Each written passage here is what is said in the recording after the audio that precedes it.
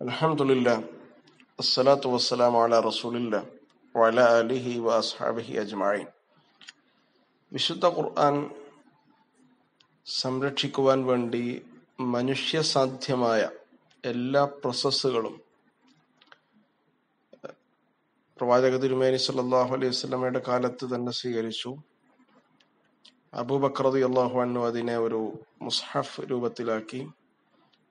ഉസ്മാൻ റളിയല്ലാഹു വിവിധങ്ങളായ ശൈലികളിൽ ഖുർആാനിന്റെ പാരായണങ്ങളും ഖുർആാനിന്റെ പഠനങ്ങളും രൂപപ്പെട്ടപ്പോൾ ആ ശൈലികൾ ഏകീകരിക്കുന്ന ബൃഹത്തായ ഒരു പദ്ധതി ആവിഷ്കരിച്ചു. ഇത് മെറ്റീരിയലായ ഭൗതികമായ എല്ലാ പ്രോസസ്സും ഖുർആൻ ക്രോഡീകരണത്തിൽ ഏറ്റവും കുറ്റമറ്റ രീതിയിൽ പൂർത്തീകരിച്ചതിന്റെ ഉദാഹരണമാണ്. മറ്റൊരു ഭാഗം എന്ന് പറയുന്നത് വിശുദ്ധ ഖുർആൻ വിവിധങ്ങളായ രീതിയിൽ നൂറ്റാണ്ടുകൾ ലോകത്തിന്റെ റഫറൻസ് ആയിരുന്നു എന്നതാണ്. പ്രവാചക തിരുമേനി സല്ലല്ലാഹു അലൈഹി സ്വലമയുടെ കാലത്ത് തന്നെ എല്ലാ ഡിസ്കോഴ്സുകളുടെയും എല്ലാ വ്യവഹാരങ്ങളുടെയും അടിസ്ഥാനം വിശുദ്ധ ഖുർആനാണ്. നിയമം ധാർമ്മികത സദാചാരം രാഷ്ട്രീയം സാമൂഹികം സാമ്പത്തിക കാര്യങ്ങൾ ഇങ്ങനെ തുടങ്ങിയ വിവിധങ്ങളായ വ്യവഹാരങ്ങൾ. പ്രവാചകൻ സല്ലാഹു അലൈഹി വസ്ലം ആവിഷ്കരിച്ച വിദ്യാഭ്യാസ രീതിയുടെ കാതൽ ഖുർആനായിരുന്നു. ഖുർആനാണ് മെയിൻ കോർ സിലബസ് എന്ന് പറയും ഈ കോർ സിലബസിനെ അടിസ്ഥാനപ്പെടുത്തിയാണ് ബാക്കിയുള്ള പാഠ്യപദ്ധതികൾ ഇസ്ലാമിക സമൂഹത്തിന്റെ നൂറ്റാണ്ടുകൾ നീളുന്ന ചരിത്രത്തിൽ ആവിഷ്കരിച്ചിട്ടുള്ളത്. അതുകൊണ്ട് തന്നെ ഖുർആൻ എന്നതാണ് പ്രധാനം. അഭി അതിൽ നിന്ന് രൂപപ്പെടുന്ന ശാസ്ത്രങ്ങൾ അതിൽ നിന്ന് രൂപപ്പെടുന്ന അന്വേഷണങ്ങൾ കണ്ടെത്തലുകളാണ് വലിയ സംഭാവനകളായി പിൽക്കാലത്ത് ലോകത്ത് വികസിച്ചത്. നബി സല്ലാഹു അലൈഹി വസല്ലമയുടെ കാലത്ത് പ്രധാന അത്രത്തോളം വിവിധങ്ങളായ ശാസ്ത്ര ശാഖകൾ വികസിച്ച ഒരു കാലഘട്ടമായിരുന്നില്ല. അതേസമയം ഇൽമുൽ ഫലക്ക് ഗോളശാസ്ത്രം അതുപോലെ ഇൽമുൽ ഉസ്- ഇൽമുൽ നസബ് വംശാവലി വംശശാസ്ത്രം ഇതൊക്കെ കാലഘട്ടത്തിൽ ഉണ്ടായിരുന്നു മഹാനായ ഉമർ റളിയല്ലാഹു അൻഹു അന്ന് ഏറ്റവും കൂടുതൽ അറബ് വംശാവലിയിൽ അഗ്രഗണ്യനായ ഒരാളായിരുന്നു. അതുപോലെ നമസ്കാരത്തിന്റെ സമയം അത് കാഴ്ബയുടെ ദിശ നിർണയം കിബില ദിശ നിർണയം ഇതൊക്കെ ആയിട്ട് ബന്ധപ്പെട്ട കാര്യങ്ങൾക്ക് ഈ ഗോളശാസ്ത്രത്തെ ഉപയോഗിച്ചിരുന്നു. നബി സല്ലല്ലാഹു അലൈഹി സ്വല്ലം തന്നെ നക്ഷത്രങ്ങളുടെ ദിശ കണ്ടുപിടിക്കുന്നതിലും മനസ്സിലാക്കുന്നതിലും വളരെ ചെറുപ്പം മുതൽ തന്നെ നബി സല്ലല്ലാഹു അലൈഹി സ്വലം നടത്തിയ യാത്രകളിലൂടെയും അനുഭവങ്ങളിലൂടെയും ഒക്കെ വലിയ നിപുണനായിരുന്നുവെന്ന് പ്രവാചക ചരിത്രത്തിൽ നമുക്ക് കാണാൻ കഴിയും. പിന്നീട് അങ്ങോട്ട് വികസിച്ചു വന്ന എല്ലാ ആളുകളും. ഇമാം ഗസാലി നല്ല ഒരു ഖുർആൻ വ്യാഖ്യാതാവാണ്. നല്ല ഒരു ഫിലോസഫറാണ്. തത്വശാസ്ത്രജ്ഞനാണ്. അതുപോലെ ഇമാം റാസി അദ്ദേഹത്തിന്റെ താല്പര്യം വൈദ്യശാസ്ത്രത്തിലാണ്. പക്ഷെ അദ്ദേഹം ഖുർആൻ വ്യാഖ്യാതാവാണ് അപ്പൊ ഇങ്ങനെയുള്ള ഒരു ഒരുപാട് കാലത്തെ ചരിത്രത്തിൽ ഒരു സമൂഹത്തിന്റെ ഒന്നുകൂടി പറഞ്ഞ ലോകത്തിന്റെ ഡിസ്കോഴ്സിന്റെ കേന്ദ്രം ഖുർആൻ ആയതുകൊണ്ട് ഖുർആൻ സംരക്ഷിക്കുക എന്ന് പറയുന്നത് എന്തായാലും അനിവാര്യമായ ഒരു സംഭവമായി നമുക്ക് മനസ്സിലാക്കാൻ കഴിയും. എന്നല്ല ഖുർആാനിൽ എന്തെങ്കിലും സ്ഖലിതങ്ങൾ വൈരുദ്ധ്യങ്ങൾ അല്ലെങ്കിൽ ഏതെങ്കിലും അർത്ഥത്തിലുള്ള പോരായ്മകൾ ഉണ്ടാവാൻ സാധ്യതയില്ലാത്ത വിധം ബൃഹത്തായ ഒരു റഫറൻസ് ആയിരുന്നു. ലോകത്തിന്റെ റഫറൻസ് ആയിരുന്നു.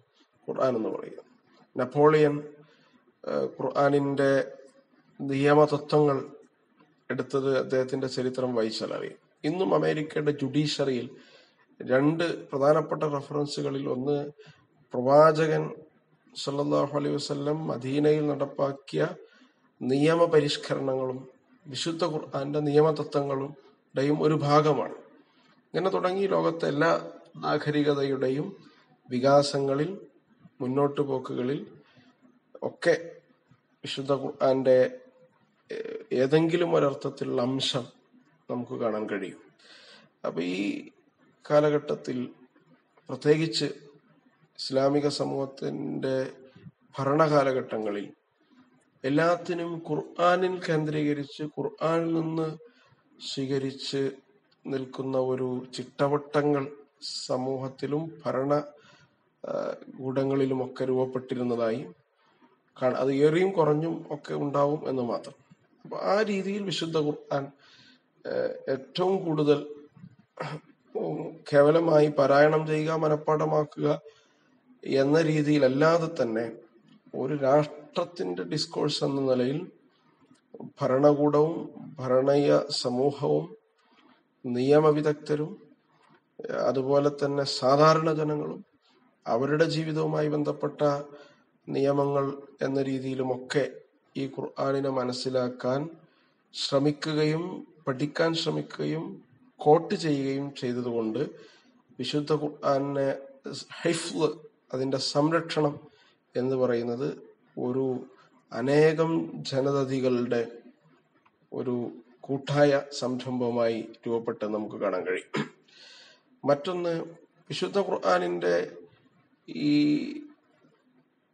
ഏറ്റവും പ്രധാനപ്പെട്ട ഈ വശം സംരക്ഷണം എന്ന് പറയുന്നതിൽ അത്ഭുതപ്പെട്ട ഒരു കാലമുണ്ടായിരുന്നു. ഇരുപതാം നൂറ്റാണ്ടിന്റെ തുടക്കത്തിൽ ജർമ്മനിയിലെ കുറെ ബിഷപ്പ് അടക്കമുള്ള ക്രിസ്തീയ പുരോഹിതന്മാരുടെ നേതൃത്വത്തിൽ ബൈബിളിനെ കുറിച്ചുള്ള പഠനം നടന്ന ഒരു ഘട്ടമുണ്ടായി.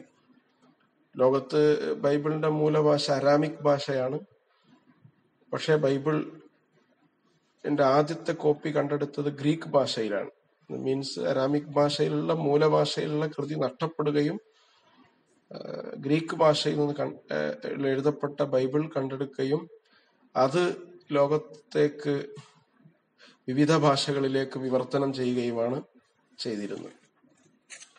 അതിന്റെ ധാരാളക്കണക്കിന് കോപ്പികൾ വിവിധങ്ങളായ ഭാഷകളിൽ എഴുതപ്പെട്ട ബൈബിളിന്റെ കോപ്പികൾ ശേഖരിക്കുകയും പഠനം നടത്തുകയും ചെയ്ത് അവർ പറഞ്ഞ ഒരു കൺക്ലൂഷൻ റിപ്പോർട്ട് രണ്ട് ലക്ഷത്തോളം വിരുദ്ധ പരാമർശങ്ങൾ വിവിധങ്ങളായ ബൈബിളുകൾ ഞങ്ങൾ പരിശോധിച്ചപ്പോൾ കണ്ടു എന്നാണ്. അപ്പൊ ഇത് യഥാർത്ഥത്തിൽ യഥാർത്ഥത്തിൽ ഈ ഇതോടുകൂടി ഖുർആാനിൽ വൈരുദ്ധ്യം ഉണ്ട് എന്ന് സമർത്ഥിക്കാനുള്ള ശ്രമം പിന്നീട് ജർമ്മൻ തന്നെ കേന്ദ്രമായി നടന്നൊരു ശ്രമമുണ്ട്.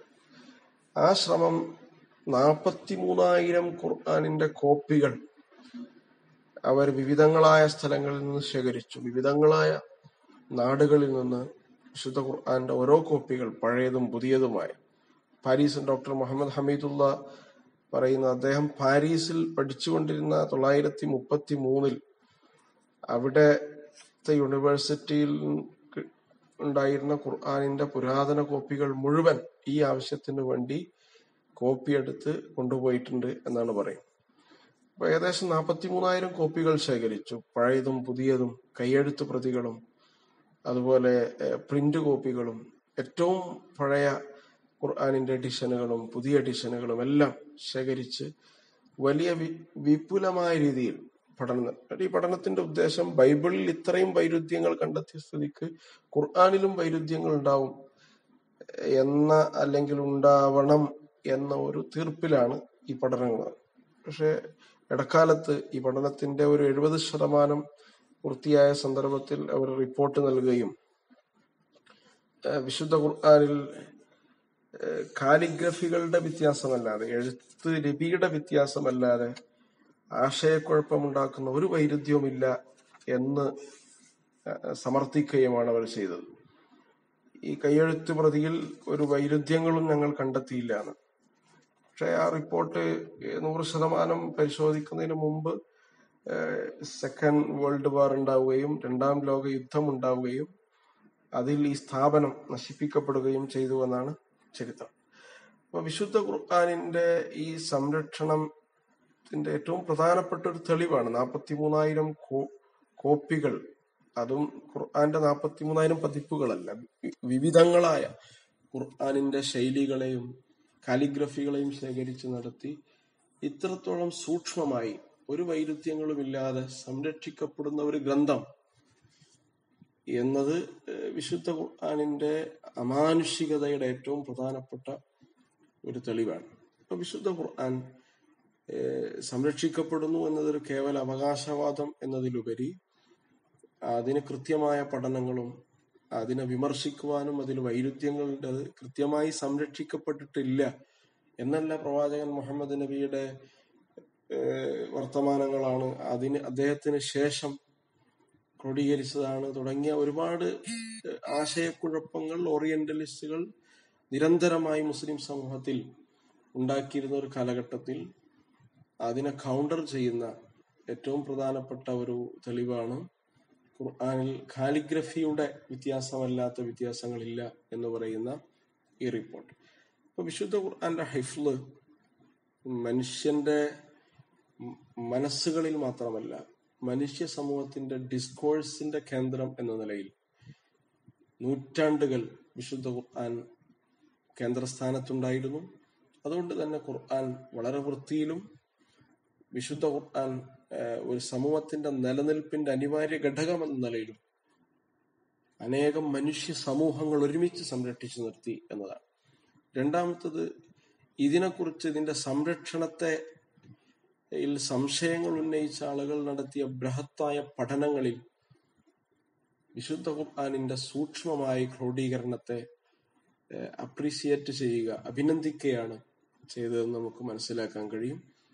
അപ്പൊ ഇന്ന നഹ്നു ദിക്റ വ ലഹു എന്ന് പറയുമ്പോൾ വിശുദ്ധ ഖുർആാനിന്റെ സംരക്ഷണത്തിന് മുസ്ലിം സമൂഹം സ്വീകരിച്ച ജാഗ്രതായ ഒരു സമീപനത്തിന്റെ നൂറ്റാണ്ടുകളുടെ ചരിത്രം വളരെ പ്രധാനപ്പെട്ട ഒരു ഘടകമാണ്. അവരുടെ വിദ്യാഭ്യാസ രീതിയുടെ അടിക്കല്ല് അവരുടെ സിലബസിന്റെ കോറ് എല്ലാം വിശുദ്ധ ഖുർആാനായി സംരക്ഷിക്കപ്പെട്ടു.